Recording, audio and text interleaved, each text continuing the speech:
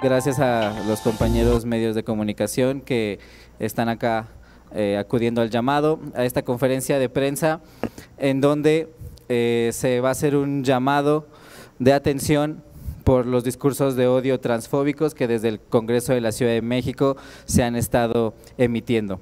Tendremos varias participaciones. En primera instancia, la compañera Gloria Virginia Davenport. En segundo lugar, la compañera Megan García.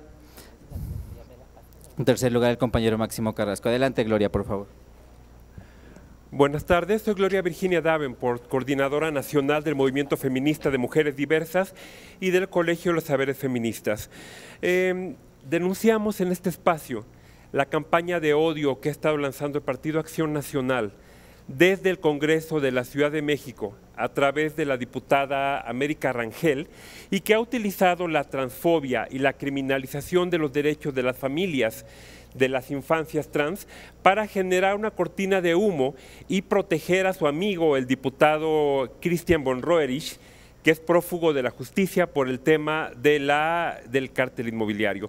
Vemos muy sospechoso que justo cuando el propio Congreso de la Ciudad de México este, frena y, este, em, niega la licencia que pide von Roerich, em, América Rangel, que ya estuvo con él hace tres años en un evento em, para criminalizar a las infancias trans, reaviva este tema. También vemos muy sospechoso que es el mismo discurso que ha manejado la colectiva, este, el colectivo Las Brujas del Mar en Veracruz, vinculado al expresidente Felipe Calderón y al senador em, panista también, este, Julián Rementería, famoso por haber traído a la ultraderecha española de Vox al Senado de la República. Em, también vemos muy curioso que este discurso que está lanzando América Rangel coincida con una marcha para difundir discursos de odio transodiante en la Ciudad de México el próximo 11 de, em, de marzo.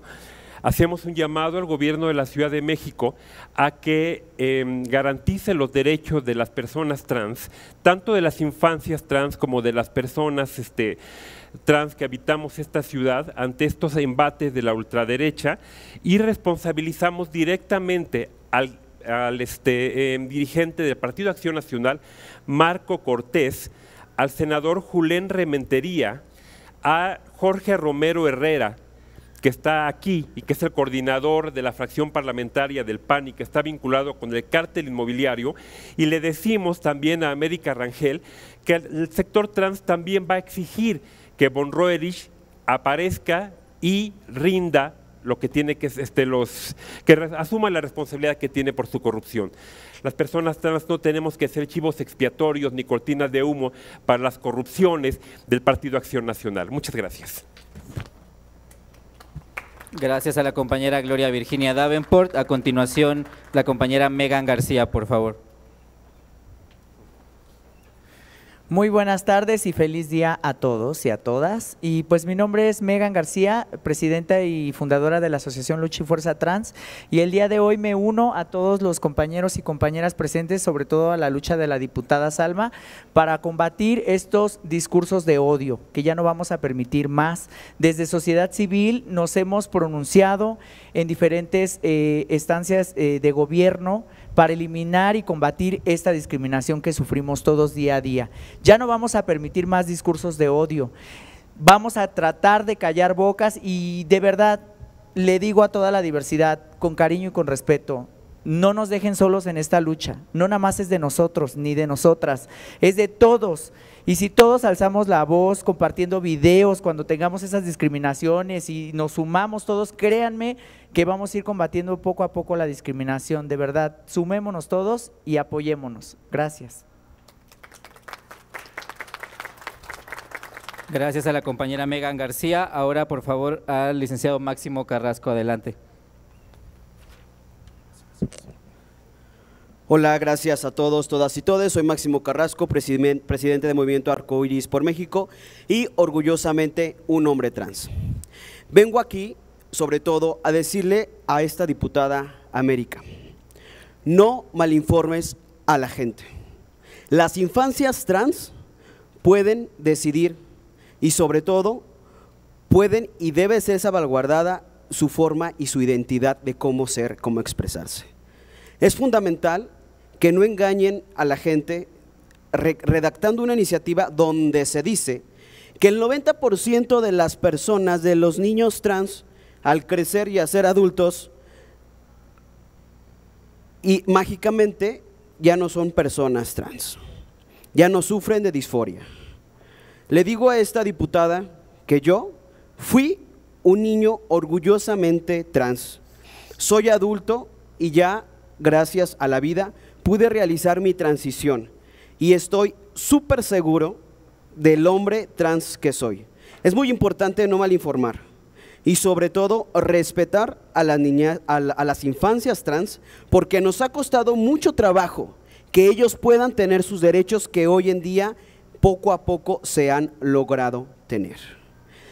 También le digo y la invito a informarse. Tal vez ella no sepa qué es una persona trans. Tal vez ella no tenga el conocimiento de las estadísticas de cuántos asesinatos de crímenes de odio hay por malinformar a la gente. Nos están matando a la comunidad trans, sobre todo a las mujeres trans. Y por si no lo sabía, también hay un grado índice de suicidio de niños trans, desgraciadamente por falta de apoyo de sus familiares. Así es que también aprovecho este espacio para ser responsable a esta diputada de la alza de estos asesinatos y también la hago responsable de lo que siga pasando a nuestra comunidad si ella sigue malinformando. Gracias. Gracias al licenciado Máximo Carrasco. Le vamos a dar el uso de la voz al activista Juan Ollarvides, por favor, antes de leer el posicionamiento. Buenas tardes a todos. Eh, yo creo que de toda el acrónimo LGBT, los hombres gays somos los que menos discriminación sufrimos y estamos acostumbrados a ir por la vida tratando de simplemente no parecer gays, porque es la forma más conveniente de tener una vida normal, en donde no se nos agreda, en donde no se nos sobaje, ¿no? Pero todo el privilegio con el cual vivimos nosotros está construido en la sangre de nuestras hermanas, las mujeres trans. Entonces, el día de hoy, yo vengo como empresario, como hombre gay, a respaldar a la diputada, porque ya basta de violencia y sobre todo a decir que las mujeres trans no están solas. Por mucho tiempo se nos dijo que a nosotros de la comunidad nadie nos iba a querer, porque éramos diferentes, porque somos subnormales, porque no tenemos lugar en la casa de Dios. Sobre todo en este recinto se menciona constantemente la separación de la iglesia y de las leyes, pero seguimos viviendo en la sombra de la iglesia bajo la ideología en la que se quiere legislar. Eso está causando muertes, eso está causando separación, eso causa violencia, porque no somos gente subnormal, no somos gente que merece menos derechos, Merecemos exactamente lo mismo, no pedimos nada más. Pedimos respeto, no porque creamos que lo necesitamos, porque lo merecemos. Y el día de hoy venimos a parar el discurso de odio de América Rangel porque está costando vidas. Y no vamos a permitir que se pierda una vida más a causa de la desinformación. Gracias. Muchas gracias a Juan Ollarvides. Vamos a dar paso a la lectura del posicionamiento que se emite desde las redes sociales de la diputada Salma Luébano. Y bueno, eh, nos estará ayudando el compañero Betuki Camacho, Miki, Livia Alonso y Amelia Waldorf. Si les pido que vayan acercándose, por favor, adelante.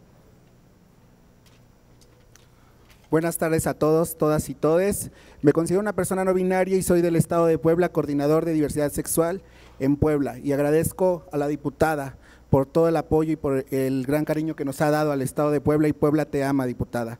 Maliciosamente la diputada una vez más utiliza el falso concepto de la ideología de género como principal sustento para desacreditar la identidad de las personas trans, ya que esta falacia solo es utilizada en grupos conservadores antiderechos humanos.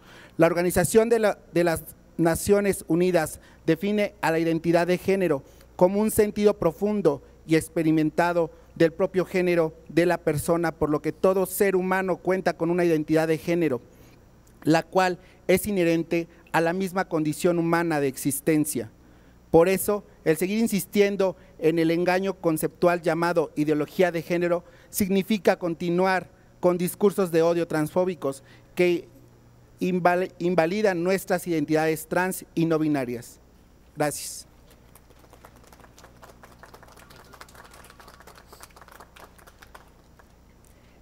El pasado 9 de febrero, la diputada local panista de la Ciudad de México, América Rangel Lorenzana, presentó una iniciativa de ley para prohibir que menores de edad se sometan a tratamientos y cirugías de cambios de género y se castigue con cárcel a quien realice estos procedimientos en menores.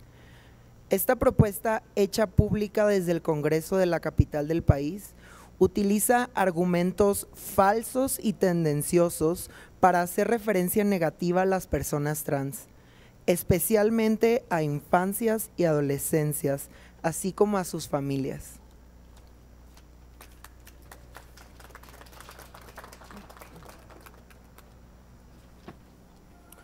Por otro lado, gracias. Por otro lado, en México, actualmente ninguna institución del sector salud permite cualquier tipo de operación para reasignación de sexo en menores de edad por lo que la diputada América Rangel miente descaradamente para atacar una vez más a la población trans y fomentar el rechazo social hacia los procesos de transición que todas las personas trans vivimos en algún momento de nuestras vidas. En estas etapas se requiere de todo el apoyo desde el ámbito personal, familia, amigos y docentes, pero también del apoyo institucional para evitar procesos de discriminación de cualquier índole. Muchas gracias.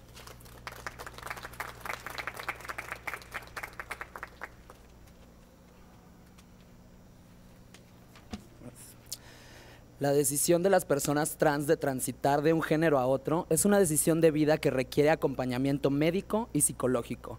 El negar reiteradamente la existencia de una identidad de género diferente a la asignada al nacer tiene como resultado vivir con depresión, ansiedad infantil, aparición de conductas antisociales e incluso el suicidio en adolescentes.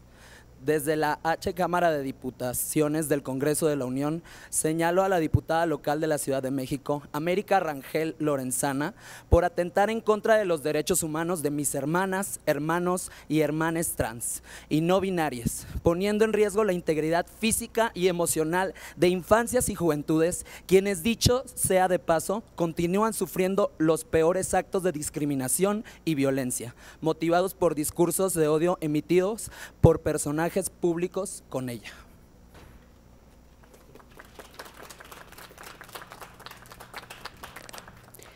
Le recuerdo a la representante popular del Distrito 13 local de la Ciudad de México que existen ya precedentes jurídicos que castigan la transfobia y aunque le cueste aceptarlo, quienes nos reconocemos como parte de la diversidad sexual y de género, contamos con los mismos derechos y obligaciones como cualquier otra persona en nuestro país. La población, mi población, LGBTIQ y más, seguiremos visibilizándonos y trabajando en México para lograr sociedades más justas, libres y equitativas para todas, todos y todes. Muchas gracias a todas, a todos, a todos los activistas. Ahora le damos el uso de la voz a la diputrans Salma Luevano Luna, por favor.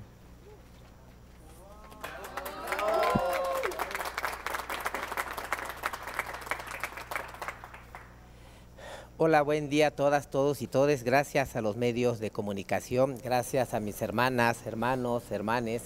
Esta es una lucha no solamente de Salma, no solamente de las mujeres trans, no solamente de los hombres trans. Es una lucha de todo el acrónimo de nuestra diversidad. Por lo tanto, como bien lo dijo Megan, tenemos que estar unidas, tenemos que estar unidos, tenemos que estar unides. Hoy estamos aquí para decir, ya basta. Día tras día nos toca librar una batalla contra el odio y la transfobia. Tenemos que pelear por el respeto a nuestros derechos humanos y quiero decirles que les seguiremos lo seguiremos haciendo sin descanso hasta que la dignidad se haga costumbre. Esta lucha la hemos tenido que hacer por la vía judicial y esta vez no será la excepción. Vamos a llegar hasta las últimas consecuencias para que se castigue la transfobia de todas esas América Rangel, de todas esas personas que disfrazan sus odios, como en el caso de esta diputada, como trabajadoras eh, eh, en defensa de los derechos de las personas, pero solamente es odio, es un odio que cargan estas personas y que no tenemos como población por qué cargar con ese odio. No permitiremos más, más odio hacia nuestras poblaciones. No permitiremos más muertes. Invito a mis hermanas, a mis hermanos, hermanes, que levanten la mano y que hagan visible todas estas injusticias, todas estas discriminaciones. No permitamos más muertes. El quedarnos calladas, callados y callades, estamos siendo cómplices y estamos permitiendo que esto siga avanzando. No más, no más. Y ese es precisamente ese llamado que le hago a toda nuestra población que tomemos conciencia, que tomemos conciencia por esos hermanos, hermanas y hermanas. afirmaciones como las suyas provocan que todos los días tengamos al menos un crimen de odio contra nuestra comunidad, que salgamos a la calle con miedo, no sabiendo si alguien que le compre sus mentiras no vaya a arrancar de las manos a alguna hermana, hermano o hermana trans por ejercer nuestros derechos humanos a la identidad de géneros.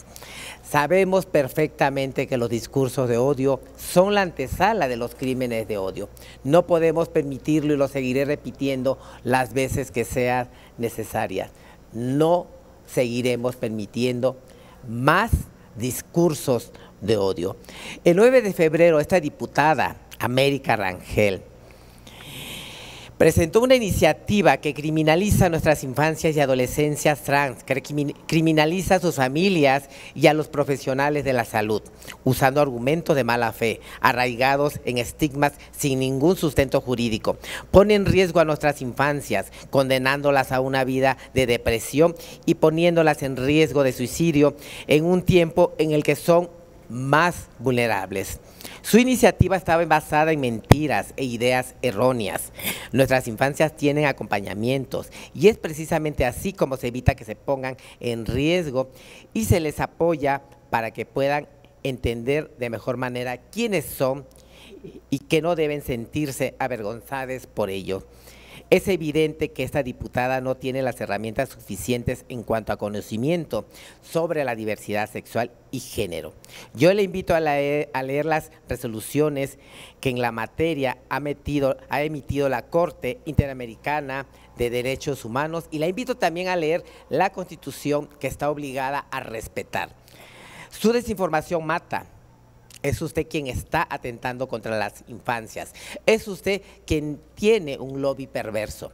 Las únicas cirugías que se practican en menores son las de reasignación de sexos en personas intersexuales y que precisamente hemos tratado de evitar para que se dé la oportunidad al menor de elegir posteriormente su sexo antes de que se les mutile, porque alguien lanzó una moneda al aire y decidió por ellas. No vamos a permitir su discurso cargado de estigma, odio e ignorancia.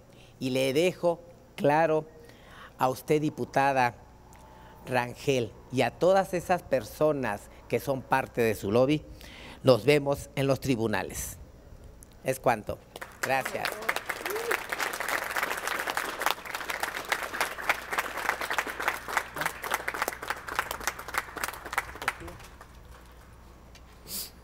Agradecemos a los medios de comunicación y si hubiera alguna pregunta, eh, con todo gusto. Oh, muchísimas gracias. Gracias. Gracias a todos. La foto.